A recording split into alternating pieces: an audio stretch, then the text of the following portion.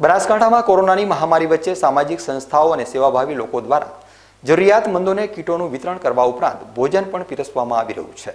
ત્યારે સુઈગામમાં બોર્ડર ઉપર દેશના રક્ષકો દ્વારા દેશ સેવાની સાથે સાથે સમાજ સેવા કરવામાં આવી રહી છે.